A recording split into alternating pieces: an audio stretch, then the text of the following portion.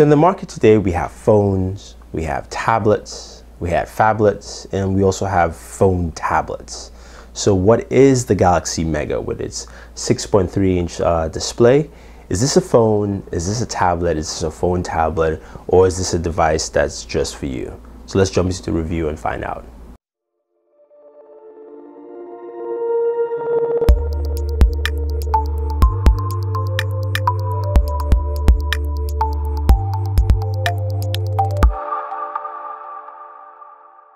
So let's go over some of the specs of the Mega again, which we covered in our, in our unboxing. But it's got a 6.3 inch 720p uh, display. So it's a high def display and the PPI ratio is a little lower, it's 223. So you will notice that while using it. Now it's got a physical home button. Uh, of course, this lights up to show you your menu and your back buttons. And as you can see, um, it's also got Android 4.2 with TouchWiz there. Front-facing camera 1.9, and at the rear you have an 8 megapixel camera with flash. Doesn't have 13 megapixels that you expect uh, coming from the uh, Galaxy S4. Now it's got a 3200 milliamp battery and I will tell you this off the bat, the battery life is very, very good on this device. You can get up to a full day of use and uh, pretty much that's what you need uh, with a smartphone nowadays. And so I really enjoyed that you could do that with the Galaxy Mega. Uh, you can also expand the storage from 16 uh, with expandable storage up to 64 gigabytes with micro SD which of course is housed right there. So it's got that typical Samsung plastic black cover, which we can close up. And the one thing that's noticeably missing is actually an S Pen.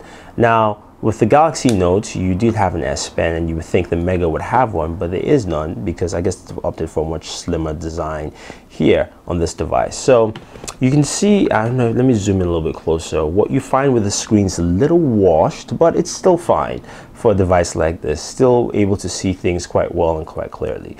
Now the main feature of course is that this is still a phone and phone calls handle very crisp and clear on the AT&T network, so you really have no issues there, and you really can't default that. It's a smartphone uh, before anything else, and it can make calls quite clearly.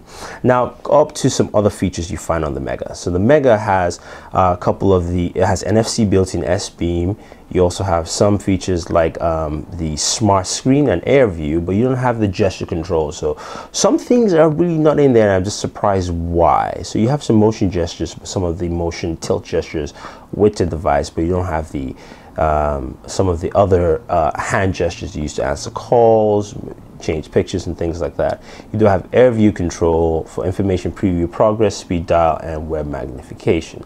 So that's you have those there, and they work quite well. Like really no issues with that. Uh, looking at what we have here, of course, is Android 4.2.2. So pretty much the latest version of Android because no one has 4.3 yet. Even uh, Moto X doesn't have that. Now, uh, when it comes to certain aspects of this device, for instance, uh, we'll talk about fit and feel. So you can see it's very easy to slide in our Galaxy Mega into our pocket, and it fits quite well. Now, um, it's still a little long and large, it can be a little cumbersome at times, but it can fit into your pocket uh, in there. Now, let's look at the camera. So it's got an 8 megapixel camera in here, and this is pretty much the camera you find in your Galaxy S3. Um, has the camera features that you find, except doesn't have dual camera feature, which I was surprised it didn't have that here, but you can see the camera settings, video settings, move on. We also have the modes. So you still have the modes, which is great that Samsung has added this as a general lineup to all your cameras. So you take best shot, auto, HDR, all that fun stuff in there, but you don't have the dual camera feature. And just take a quick look at some of the sample uh, videos and photos from this review. So we have the Mega here, recording at 1080p. Of course, doing some traffic for you. The whole idea is just to give you the um, a sample of the video and the sound and how it captures. This basically and essentially is the same 8 megapixel camera you find on the Galaxy S3 and not the Galaxy S4, which is 13 megapixel camera. So you've got a um, lesser um, megapixel camera, if you will, but this is just a short sample size, about 30 seconds or so. And hope you guys enjoyed this video. And let's uh, head back to the review.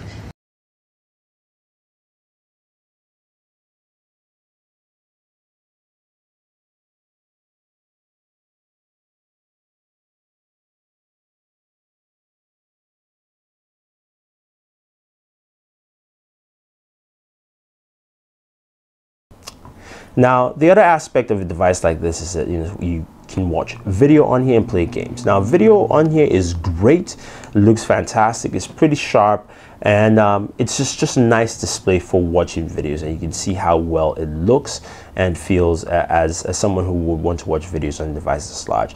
Now gaming here on here is a mixed bag. Now uh, certain games uh, for instance like modern combat 4 uh, it's a little bit cumbersome uh, at times because you get some slowdowns. Not that much but you still get slowdowns because you've got a dual core processor in here not the quad core processor with the Adreno uh, uh, GPU at 320 you don't have that. You also have have 1.5 gigs of RAM here. Uh, other games do handle well, something like Robot Unicorn I have didn't have much issues with and it still handled well uh, overall. So I think I liked what I saw with the Galaxy Mega there. But overall, um, it's a very interesting device. Uh, it's got its unique qualities and quirks. Uh, in comparison to the Galaxy Note 2, you can see its size comparison there with the Note 2. And if we even wanted to push that a little further, just to show you how it compares the Galaxy S4 and you see that right there. So you can see the difference between the S4, the Mega, and the Note 2 as it just ranges in size and graduation from 5, 5.5 to 6.3. And this is what you have here with this device. So let's go ahead and round up this review. So we spent the whole weekend uh, with the Galaxy Mega. It's got a 6.3 inch display and pretty much is a large device. Now we've seen comparison with the Galaxy Note 2. In terms of size, the Mega is really mega. It's pretty much the largest device right now that is a smartphone. Uh, but it's not a tablet necessarily. Now, there's some parts of the Mega, of course, that do fall behind. It's got a slower processor, it's a dual-core processor, and it doesn't have 2 gigs of RAM, it has 1.5 gigs of RAM. So you will notice slowdowns in certain areas, like gaming, for instance. Though it can handle most games quite well, you will notice certain slowdowns while gaming, and that's something that uh, is case in point. Now, as a faux tablet slash phablet, uh, the Mega works very well. You can see the screen size is great for watching video, you can watch whatever you want and it really works well in that avenue now as a phone this is pretty big but I do have big hands so for me it's not that cumbersome per se now doesn't fit everyone and really isn't for everyone I'm surprised that this device didn't come with a um, S Pen, which you would expect with uh, Samsung devices this large. There's no S Pen, and this is really geared towards the lower market crowd. Price range between 100 and 149, I believe. Uh, with a uh, with a AT&T, what you do get here is a device that literally, if you're looking for a tablet that has phone functionality, this is the device for you. If you're looking for a phablet, then the Galaxy Note 2 is really where it ends. I'm not going to ding this device, and a lot of people might say this is unnecessary and it's not something that's useful, but I really like the, the, the Mega. I liked it for what it was. It was an entertainment tool, uh, especially for consuming media that wasn't super large. Again, I don't have to carry a tablet. I do have a phone that as you saw, can fit in my pocket, can play games, and really is for a specific crowd. Not for everyone, but I do like the Mega, and I think this is a specific buy for the specific individual, and I do like what Samsung has done with this. So uh, if you have any questions or any comments, uh, let us know. Don't forget to subscribe to all our pages on Twitter, Facebook, and YouTube uh, support our work with tools. And also don't forget to just keep watching this video at the end. We have a link, of course, to our giveaway which you can enter to win. So thank you and always enjoy entertainment. Also, guys, don't forget to um, check out our 20,000 YouTube subscriber giveaway, which we have currently going on right now on the site. Uh, basically we have the link for the video. Just check it out subscribe to the channel leave a comment and you enter to win one. Very cool prizes and we'll give out prizes once we hit a new thousand subscribers. Uh, could be a day could be a week whichever time it is. But just go ahead leave a comment tell your friends subscribe to the channel and enter to win. Thanks